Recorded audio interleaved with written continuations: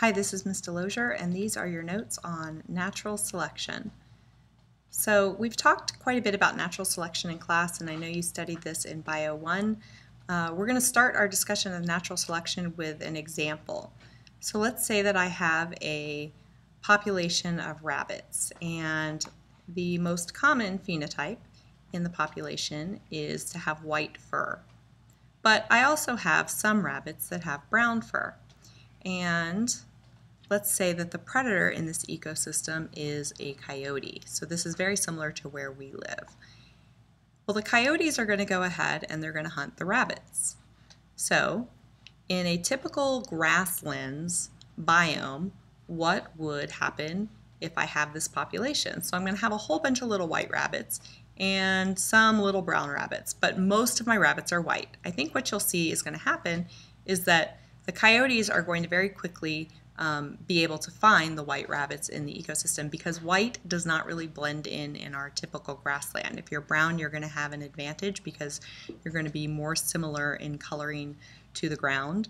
Um, so you're going to have some cryptic coloration uh, advantage. So the brown rabbits have a selective advantage over the white rabbits. So what would happen um, is in the next generation, you're going to have the white rabbits go ahead and if this is a genetic trait, are going to go ahead and produce more white rabbits. And the brown rabbits, if this is a genetic trait, are going to go ahead and produce more brown rabbits. Now, the rabbits, this has to be a genetic trait because otherwise this doesn't make any sense, right? So you'll see in our population now the frequency of brown rabbits is higher than the frequency of brown rabbits was in the starting population. So again, the coyotes go through, they're going to go ahead and eat some of the white rabbits because those are easier to find. And then in this next generation, you're going to see that the population is going to be exclusively or almost exclusively brown rabbits. So that's basically what natural selection is in a nutshell. It's just organisms that have a little bit of an advantage in their ecosystem surviving and having offspring and passing that advantage on to their offspring if it is in fact a genetic advantage. So we need to talk about fitness and how fitness relates to natural selection. Fitness, you guys hear all the time, survival of the fittest.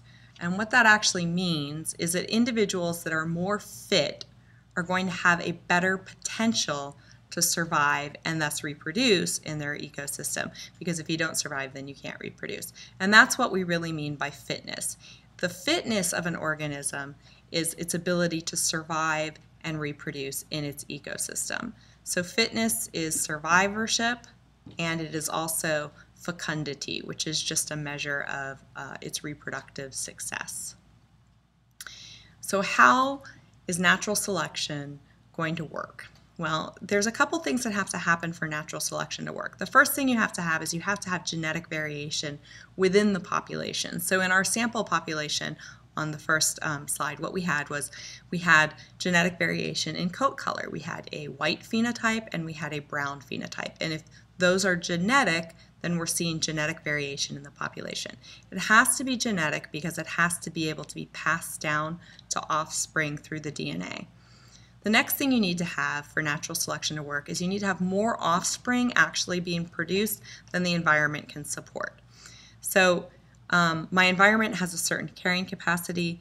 There's more offspring being born into that ecosystem than can possibly survive in that ecosystem. And then what you're going to see is that the organisms that are best suited for their environment are going to be the ones that are the most likely to survive. And that's really what we mean by survival of the fittest. So the organisms that are well suited to their environment are going to survive and they're going to reproduce and they're going to pass those traits on to their offspring. And those traits are going to spread throughout the population and it takes a couple generations. So over time that's going to happen. It's not going to happen right away. And remember, we're not talking about um, we're not talking about an adaptation appearing through an entire population in one generation. What happens is selection acts on individual organisms. So if you're not fit in your ecosystem, if you have a low fitness, like you can't survive, uh, if you don't reproduce, then you have a low fitness, then you are going to be selected against. So if I was a white bunny and the coyote came and ate me, that's strong selection against me.